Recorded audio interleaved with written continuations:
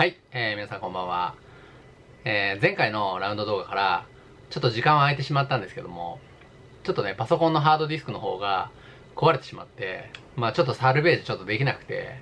まあ動画の更新がちょっと遅れております。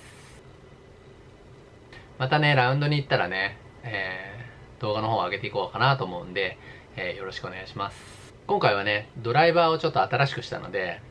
海外でのレビューっていうのは結構あるんですけど、日本語でのレビューっていうのがあんまりないので、まあちょっとね、このネットの方でスペックを確認しながら、レビューができたらなと思ってるんで、えー、興味のある人は見てってください。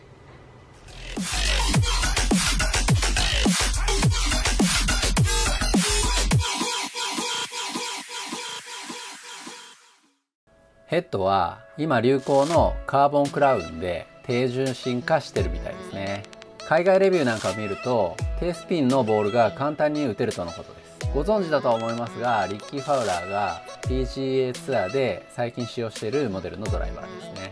体積は 440cc で今まで使っていたコブラの AMP ドライバーが 460cc だったので、まあ、若干小さく感じます。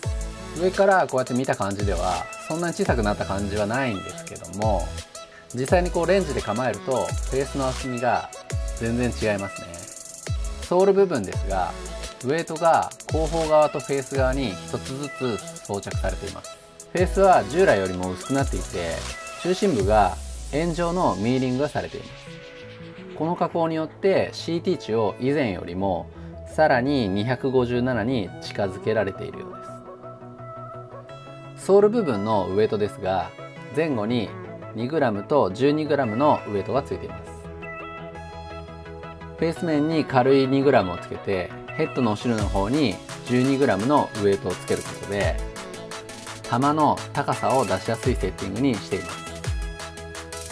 AMP の方が大型ヘッドで捕まりの良い比較的優しい仕上がりになっているのに対して F8 プラスが捕まりを抑えているので慣れるまではちょっと難しそうですね。購入当初はファウラーも指しているアルディラの NB ブルー60シャフトを真似してこちらの S で注文したんですけども振ってみると思ったよりも若干シャフトが硬くて違和感があって、まあ、どちらかというとシャフトのしなりを感じて振るのが好きなので AMP に挿していたランバックスのシャフトに F8 用のスリーブを挿して、まあ、どちらのシャフトでも使えるようにしています。最近のレンジでの練習では、ランバックスのシャフトの方が合ってるかなっていう感じなんで、当面はね、ちょっとこれでいこうかなと思ってます。音とか、まあ弾道の参考になればなと思って映像も撮ってきたんで、えー、そちらもご覧ください。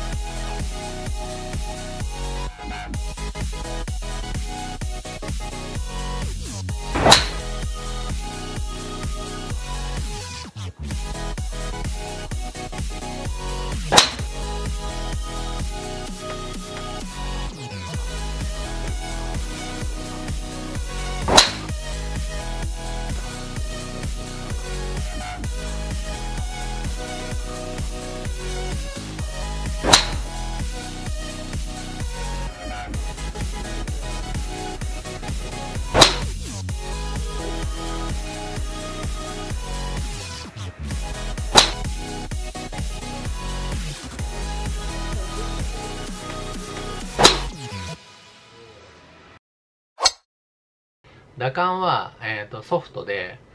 そんなに振らないでも、ある程度飛距離が出るなっていう感じの、あの、印象ですね。フェアウェイウッドも、えー、考えてるんですけど、アイアン型のユーティリティも気になってるんで、まあ、どっちか順番に買っていくかなっていう感じですね。まあ、前回の動画の時に次回の動画は水波高原のラウンド動画という風に言ってたんですけどもちょっとねなくなってしまったので見送りで来週ぐらいにまたね三重県の鈴鹿にあります林宝ゴルフクラブ。こちらの、えー、ラウンドをアップしますんで、えー、また覗きに来てみてください、